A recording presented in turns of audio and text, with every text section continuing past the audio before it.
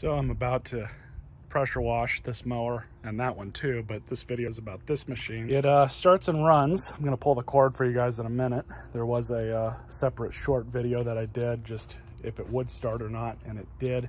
The customer told me that they were using it and after a while it would just shut off. But uh, for this service, we're just gonna fully clean it up, uh, blow out the air filter, check the oil. I don't think the oil is all that dirty but we're to clean the carburetor too. Check the spark plug that kind of stuff. See if it'll give us a start.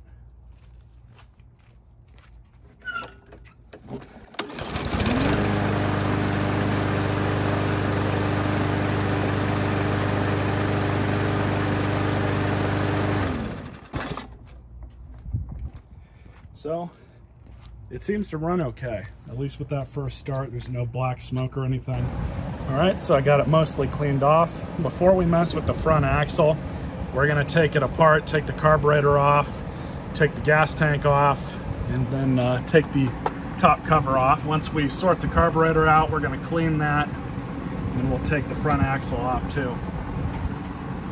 These are just 3 eighths. Obligatory spider check. Plenty of uh, stuff that shouldn't be in here. But what's nice about these is even though these are problematic engines, they are relatively easy to service.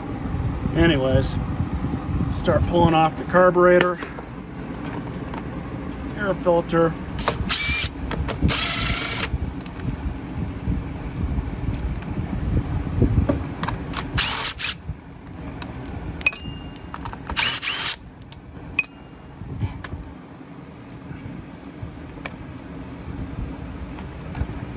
Now we have better access to the carburetor.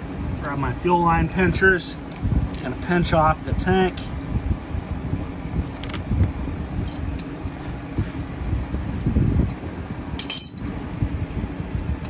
Carb off.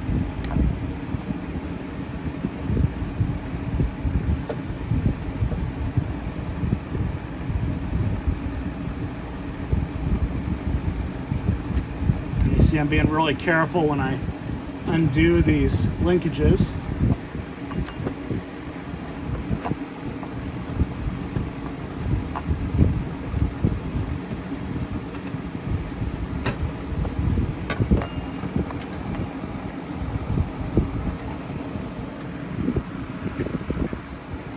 The one thing I do want to make note of is this O-ring and retainer stayed behind when I pulled the carburetor off. And these just go back in, just like this.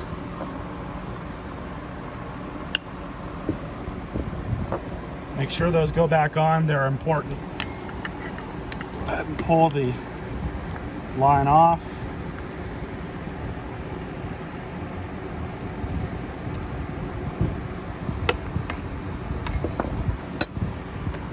You guys notice it's dripping fuel. It's normal.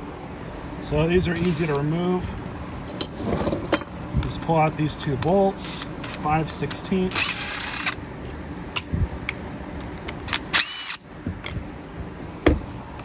And then I like to use a flathead and just kind of gently pry. And a good pry point here.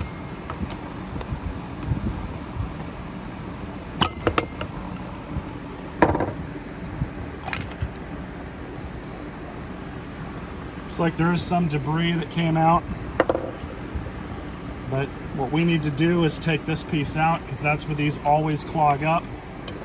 So grab yourself a pair of pliers. Might seem like you're gonna break this, but that's okay. Just rock her back and forth and pull it on out. Just like that. And separate the jet. You can see where these holes need to be clear of any obstruction. Make sure everything's clean down there. These also like to clog up here, as well as up here. And these holes are a little bit smaller, so a welding tip cleaner won't work on them. the wire off of a steel bristle brush or some 20 thousandths safety wire will do fine. You just stick the wire in, just clean it out just like this. Same thing for the bottom. Now you can also remove this float pin. I've never personally seen um, one of these floats or needles fail on one of these carburetors. I've done I don't know how many of these now. A lot. Just take the pin out just like that. Take the float and the needle. Just have a good look at everything. You could shoot some carb spray through here. That'll clean things up if it's dirty. Make sure you have a good look at the throat. Now one thing to remember on these carburetors, there's right in the center there where the hole is, there's a sort of donut that goes right in the middle. And that lines up with the hole that's right in here. I've said this in other videos and there's a better link. There's a link to a better video in the description where I describe it in better detail. But there's a hole in here and if that donut, or whatever it's called, gets moved around and misaligned with this, when you go to stick your jet assembly back in, it won't want to go back in no matter how hard you try. And that's because that hole is not lined up correctly. So if you're having issues sticking this back in, make sure you check that and reorient it. You could use, you know, flat blade screwdriver maybe and just carefully move it around or whatever you have to do. It's not really a huge deal to mess with it. Stick the float and everything back in.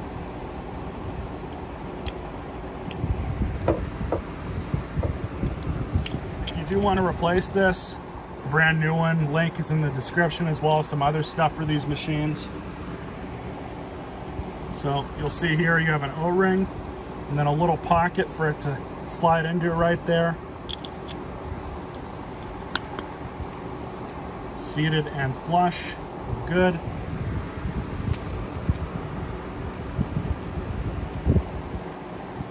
Now this can only go back on one way.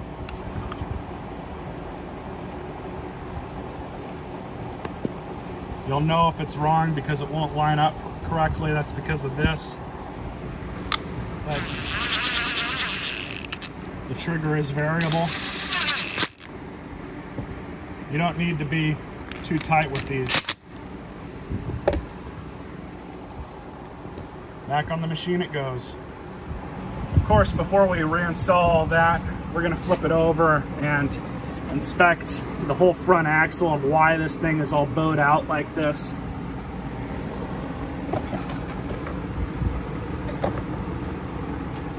Flip it over.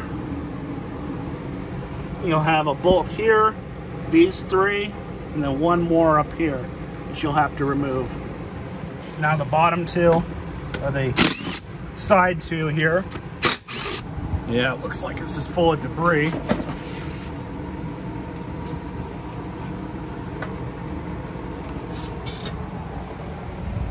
We'll clean that out. That's probably the problem. Well, that was easy. Just got to reinstall it. Now just to put the tank and carburetor back on.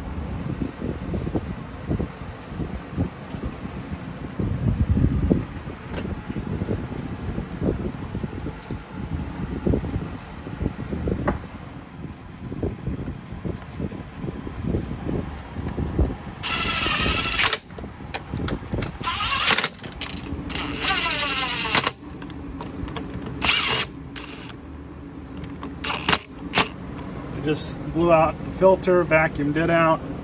We can stick that back on, as well as the filter cover.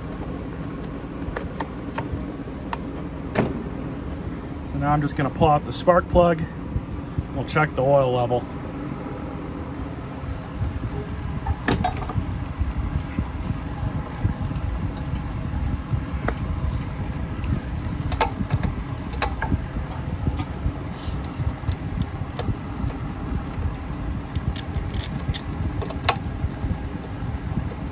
Autolite 3924. I'll have to look that up.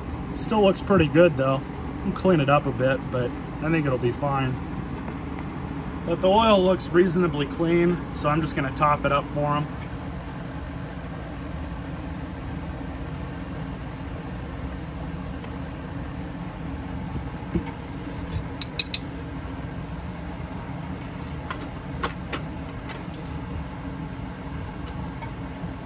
Perfect.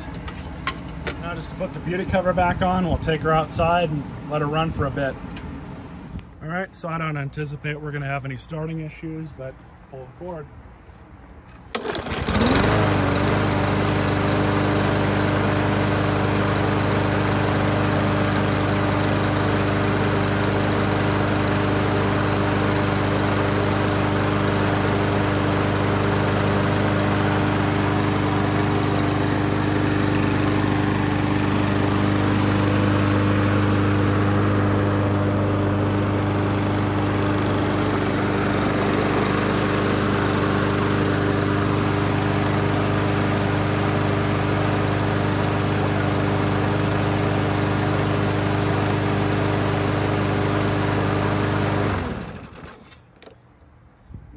Say that they would be running it for a little while and then it would just quit. What I'm gonna do is I'm gonna run this for 10, 20, maybe 25 minutes, let it get all nice and warm, shut it off or see if it shut, shuts off on its own, then try and restart it. If that's the case, it could be that we have a problem with the coil. Sometimes when coils fail, what will end up happening is they'll open up and short themselves out internally. It's rare, but it does happen when they get warmed up. So I'm gonna try that and see if we have any issues like that. Uh, if we do, I'll clip back in, but if we don't, you guys could take this as the end of the video and this mower was good to go. Hope you enjoyed it. Stay tuned for more.